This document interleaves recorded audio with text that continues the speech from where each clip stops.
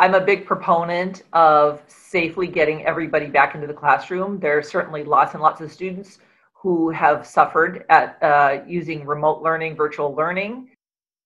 Support for returning to school from Multnomah County Health. The department will work with Portland's public uh, Portland schools rather on guidelines for students to return next month. Now the governor wants all Oregon schools to reopen with some in-person learning by April 19th. Dr. Ann Loeffler believes it's the right call. What we need to make sure happens is that across the socioeconomic spectrum, across the race and ethnicity spectrum, that everybody gets back to learning. There are going to be families who aren't quite ready to say it's safe to be in school.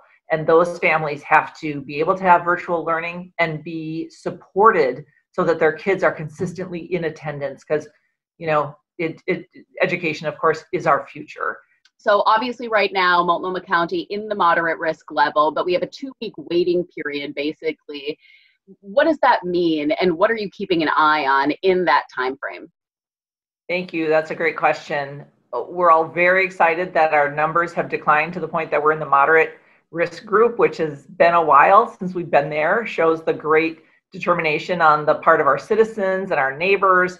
And we look forward to enjoying that for a long time. So what we've heard from OHA is that the last thing they want is to bounce us in and out of risk categories. So we understand that if we creep up a little bit over the threshold, their intention is not to bounce us right down and sort of penalize us, but we'll be working with people to emphasize that while we can enjoy a little bit more at restaurant dining and a little bit more indoor entertainment, that comes with a responsibility to still wear our masks, to still stay home if we're sick, still to still keep a distance from people that we we don't live with. And we really think all those things can be done very safely if we just take those extra precautions. So it's what we've been hoping and waiting for to get businesses back open, and we just have to do our part at this point.